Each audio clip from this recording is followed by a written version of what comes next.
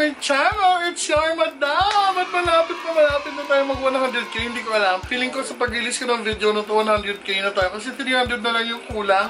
Thank you so much, Damshies, for all your support. Maraming maraming salamat. It has been a great 2018 at 2019 na. At mas bubonggahan natin yung laban this year. Pasensya na yung boses ko ganito kasi nagka-tonsillitis ako and namamaga siya until now. But don't worry because nag-spray na ako ng Camilosan. Ito very effective talaga ito yung Camilosan for sore throats and for tonsillitis. So ayoko maggamot dahil I want my body to naturally heal itself. So mag-spray muna tayo ng Camilosan. Mmm! So, hindi man kaya-aya yung lasa nito. Laban na natin. Dahil this is one way of naturally healing yourself. Yung mga natural oils na ng kamilusan. Laban na yan. We're finally back here in the Philippines. And it's so good to be back. Totoo nga namang nakakamiss ang Pilipinas. Sobrang ma-homesick ka. 5 days or 6 days kami sa Malaysia. And sobrang namiss ko yung Pilipinas. Alam mo yun, kahit alam kong nakabakasyon lang kami, namiss ko siya for some reason. Hindi talaga ako pwedeng mawalay sa bansang to na ganun katagal. Because I'm just so in love with our country. So despite all the challenges, despite everything that we are facing every day dito sa bansang to, and that's something nga na I feel like sana instill pa rin sa mga bata ngayon, yung pagmamahal sa bansa, yung sense of nationalism, yung patriotism, because that is something that will someday save our country. That is something that we can all hope for to save us all and make our daily lives here in the Philippines better.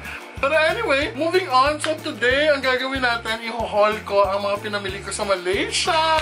Ayan, namili ako sa Malaysia ng some stuff para pampasalubong dito sa Philippines. As you all know, nandito yung family ko to spend the holiday season with me. And medyo matatagalan sila. Sa January 8 pa yung uwi nila. Kaya ito, namili ako ng pasalubong for them. And also for the Bakla ng Taon, and Mars Ivan, and Mars Lloyd. Simulan na natin. Ang unang pinamili ko, syempre napakita ko na sa last vlog. But this is something na ilalagay ko sa bahay. So ito ay from Turkey. Ito may evil eye. So nag-comment sila evil eye daw tawag dito. This is to ward off bad spirits and evil spirits. So dito ko yun sa bahay ilalagay. Napakita ko lang quickly yung mga napakita na natin ulit. Just a recap. Also this one, yung set ng necklace and earrings for my mom. This is made of Swarovski crystals and gold-plated naman yung kanyang necklace. Ayan siya.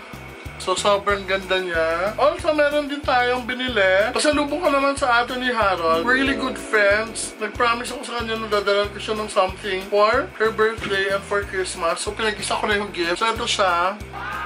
It's also made of Swarovski crystals. Sobrang mura ko itong nabili kasi naka-sale siya doon sa Central Market. So I decided to buy this kasi, di ba, what's the best gift you can give a woman but jewelry, o di ba? So nabili ko yung kay Hazel for 215 ringgit. Kaya na bahala mag-times doon. Basta 1 ringgit is equivalent to 13 pesos. Yung kay mommy naman, nabili ko for 320 ringgit. So kayo na din mag-times.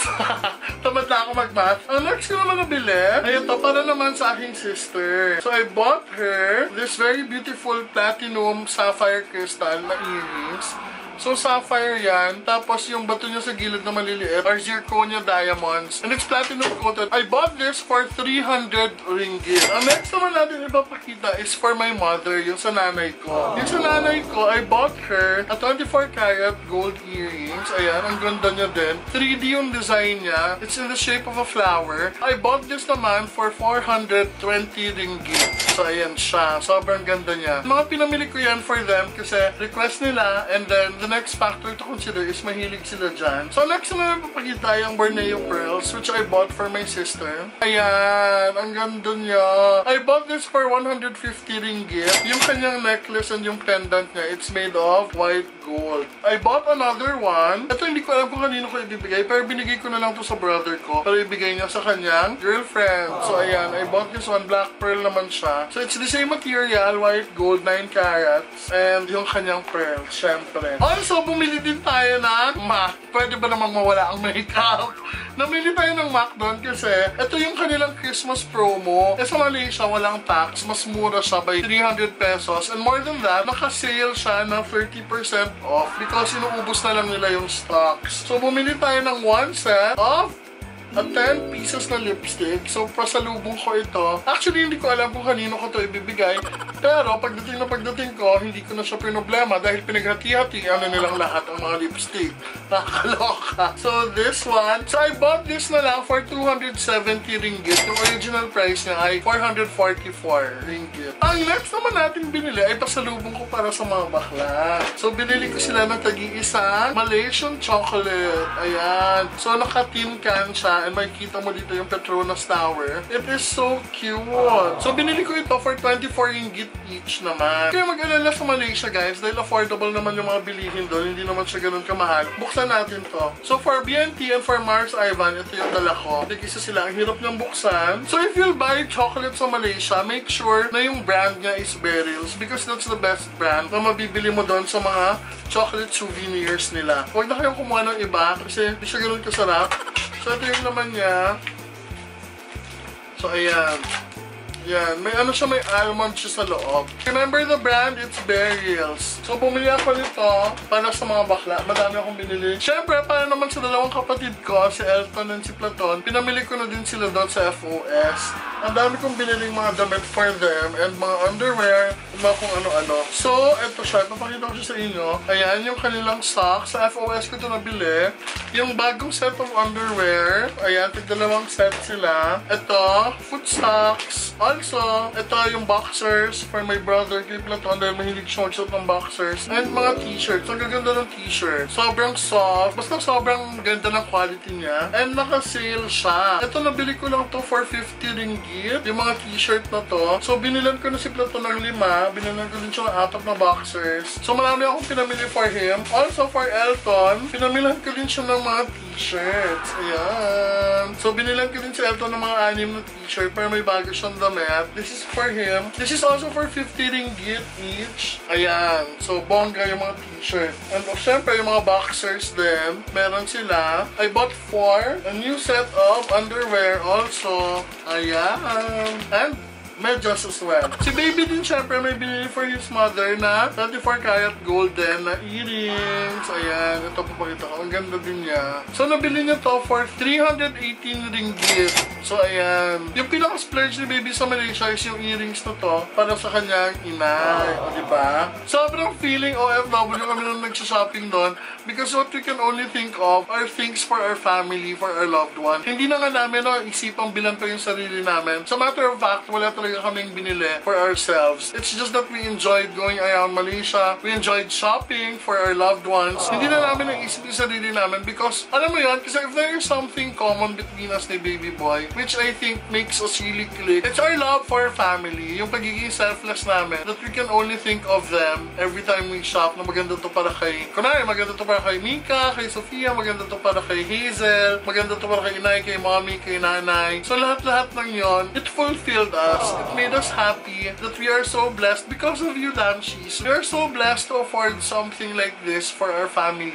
for the people that we love. Sobrang, sobrang nagpapasalamat kami sa inyo because this is something na nangyayari because you continue to believe in us, because you continue to support us, you continue to give us inspiration to do our jobs well, to do our jobs better every day. Kaya maraming maraming salamat. And I offer this 100,000 milestone to you guys to every one of you who's continuously watching our vlogs, who's supporting us, who's always there no matter what. Kami naman kasi, we're not saying that we are perfect. Tao lang rin naman kami. In front and at the back of the camera, we make mistakes, we have shortcomings, we are imperfect. But to have you people, 100,000 strong, being there and watching us every day, spending time with us every day, sobrang nakakataba ng puso and sobrang sobrang pinagpapasalamat namin yon. Hindi namin nararamdaman na mag-isa kami sa mundo. Kaya thank you, thank you so much. It's a new year. It's 2019. Siyempre, back to regular programming tayo nila, baby. Madam's Kitchen. I'm sure na-miss nyo. Babalik na natin yon. And also, yung ating mga daily vlogs for 2019. Kaya tutok lang kayo dito sa channel ko. Thank you so much. Gusto ko kayo yakapin. Hug, hug, hug. Hug, hug, hug. Hug, hug, hug. Oh my God.